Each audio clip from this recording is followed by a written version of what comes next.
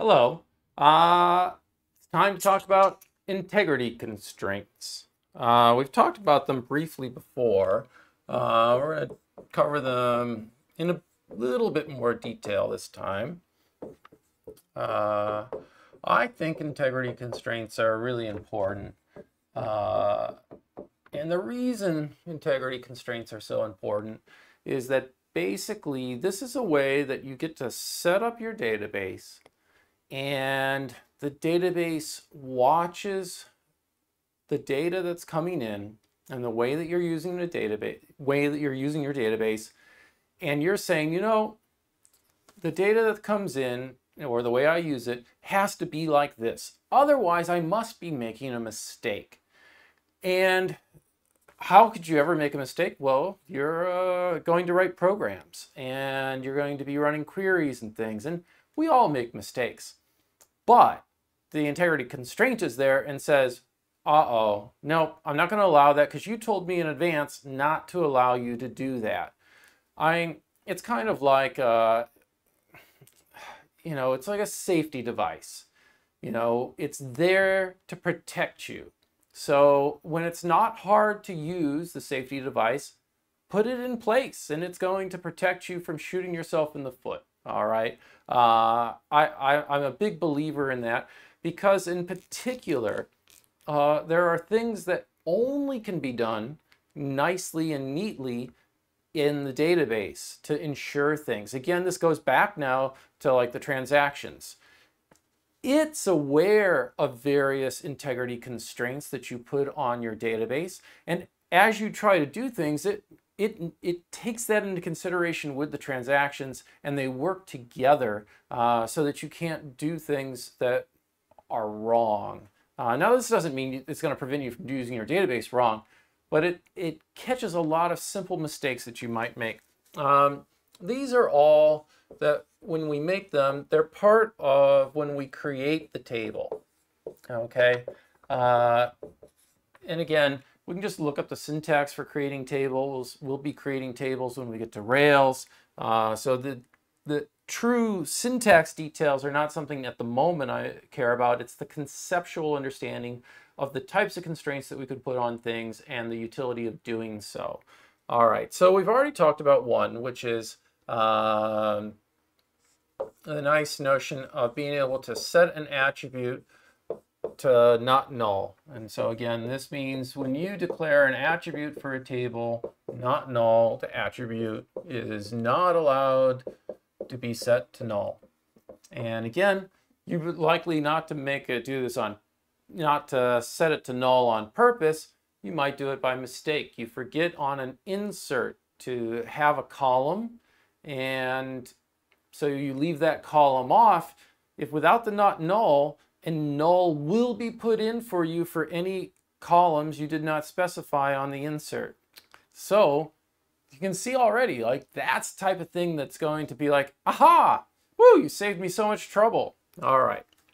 Uh, the next one, you can define a set of attributes to be unique. So attribute one, attribute two, on up to however many attributes you have on that uh, table, okay? Uh, what you're basically doing here is saying that these attributes taken together are forming a super key. And as such, uh, dupe I'll call them dupes or duplicate rows with those attributes uh, are not allowed. Uh, we'll stick in rows here, but it's for those attributes in a row, uh, rows are not allowed. And so the database would catch you. Uh, and if you tried to put in, so let's say you say, oh, well, I have an attribute here and it's supposed to be unique. If you put it, and you already have that value in in one row, you try to put in another row in, the database will catch that and say that statement is in error and won't allow you to make that mistake where you put in two rows with that same uh, information.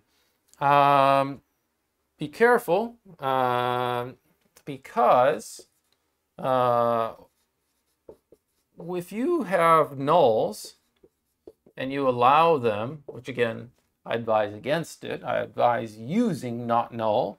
But if you have a null, uh, you know, this is considered not a violation of the uniqueness.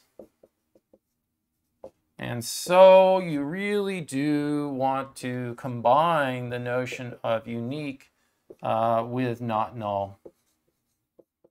So if you're saying, oh yeah, I'm going to have these attributes be unique, they're basically, again, they're going to form a super key for this uh, table.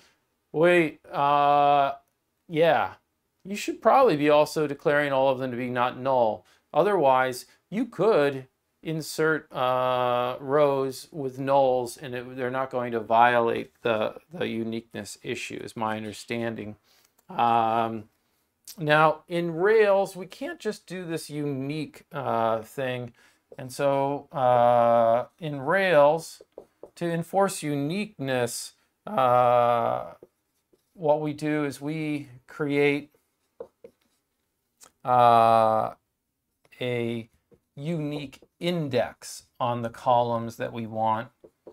Okay, we'll talk about indexes uh, later. Uh, usually this is a good thing because uh, if we're saying these things are supposed to be unique, basically saying they're a super key, that likely means those also are keys, those are columns that we're going to use as a key to query that table with. Well, when we're going to query a table, especially as those tables get large in size, having an index is great. It'll speed up our access to the rows in that table. So I can see the way Rails doesn't provide any way for us to do this uh, since it's probably geared towards, well, obviously you'd want an index, wouldn't you? So you can create a unique index to enforce that uniqueness uh, constraint at the database level. All right. Then there's also the notion of a check constraint. Uh, some of you have seen the check constraint already in the university database as loaded into Codio.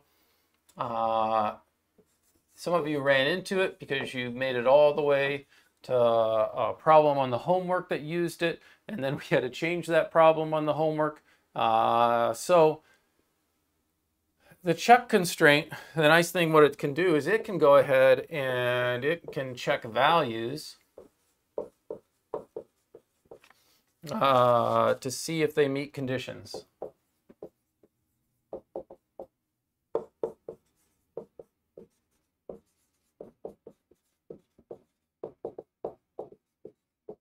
All right, so these are along the lines, uh, uh, you know, you can do things like, you know, you can check to see if things are greater than, equal, so forth, and so on.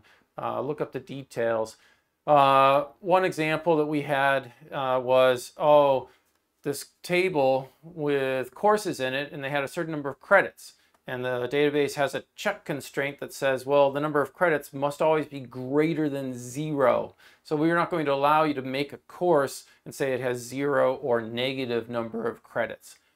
Again, you wouldn't purposely do that, but here you have a situation where, ah, yes, if I was to make a mistake writing my program and attempt to do that, now I've caught that mistake and I won't I won't introduce bad data into the database. All right. Uh, the next one is the notion, and we have talked about this one, call it again referential integrity. This is where we are specifying what the foreign keys are. And so you would have in the create, when you create a table and you would say, oh yeah, this, this attribute I have here uh, what you do is you say, yeah, I have a foreign key, and then you name what the attribute is, and you say it references uh, the other table, the origin table. So what it, the, the check, the integrity constraint is when you try to insert something into the table that's got a foreign key uh, referential integrity check on it, this value you try to put into this attribute, whatever it is, the value must exist in the table. Okay. Um, and so this is the call, actually, this is the column name that's in this table. Um, I believe I have that right. Uh, either way, we could find look up this text to be absolutely positive. But the key idea is when I say, ah, in this table that I'm creating, this thing is a foreign key, what I'm saying is, is make sure that when I try to put something into this table, that that key value is found over there in that table for that attribute. If not, don't let me do it because I need to know that I would be able to link together these tables because I'm using the foreign key to do that linkage. Um, if, if, there's, if this key doesn't exist in the other table, I must be making a mistake. What does it mean to, to, to have something that I can't link? That's what you're doing is when you create one of these uh, things. Now, note that you can also set these up. Um, these can be set up with what is known as a uh, on delete cascade uh, statement.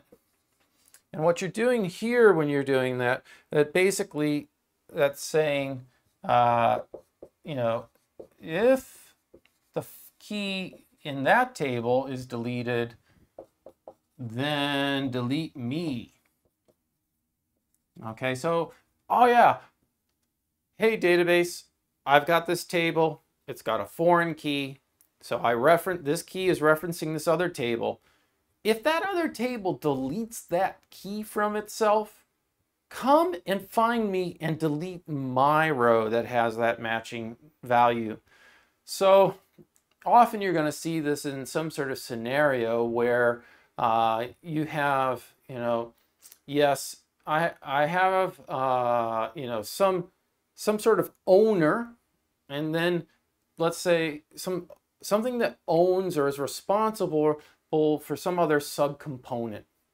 And so this subcomponent references whatever the owner is of it. Well, when if that owner was to disappear, be deleted, we should get rid of the subcomponent as well because it's the subcomponent is only there because of the owner.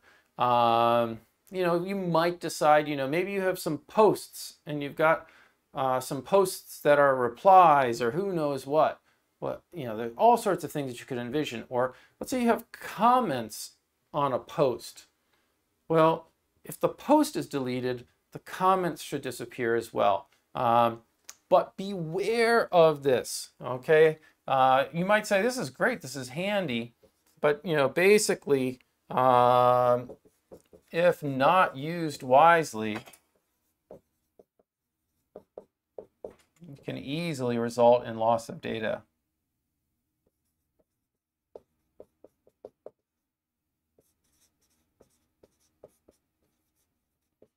So consider, let's say I set up a book database and I have uh, an author and I have books. So an author table and a books table. And the books table has a foreign key into the author table. So each book has an author, uh, and that author then we would find in the authors table. If I set, up, set that up with an on delete cascade, what I'm saying is, well, if I delete the author, go delete all the books that have that as the author. Is that really what I want to do? Do I really want to have to go and input all that data again? Maybe what I'm really doing is uh, I need to do something where I'm going to get rid of an author and replace them or something, you know. I really should be editing it, but maybe I don't. But if you're not wise about this, uh, delete of one table can cascade through a whole series of all these other tables, deleting all the data that has all those foreign keys. And the next thing you know is, oh, I have a real problem if you don't do the on delete cascade, what will happen when, let's say, take that author in the book example. If I try to delete that author, it will say, I'm sorry, you can't do that. That books table has you as a foreign key. So if you, I was to delete you, I would mess up the referential integrity. I will not allow you to do that. If you want to get rid of that author, first you're going to have to go and delete all those books, and then you can come back and delete that author. Uh, and that sort of is a nice thing in, from the standpoint of protecting yourself. Ooh, do I, did I really want to cause all these deletes to happen? I mean, this is why we're putting, one of the reasons we're putting in the referential uh, constraint is to make sure that things stay, that the integrity is good. You could maintain it with an on-delete cascade, but you also might be really surprised. Oh, I had no idea it would delete so much data from the database. So watch out when setting these up. And perhaps more importantly, you go off on co-op or you're at your job and you're using a database. Uh, be aware they might have on delete cascades set up. And if you're not careful with your delete, you could end up deleting a lot of data. So you have to really understand the ins and outs of the database that you're using and how it is set up and what is the proper proper way to do it. Whenever whenever it comes around to deleting stuff, check, double check, triple check. Like once the data is gone, you're you're in deep doo-doo. Um, sure, there might be a backup, but there might not be. So think twice before deleting. Double check stuff. All right, that's it for looking at uh, integrity constraints. Yeah. All right.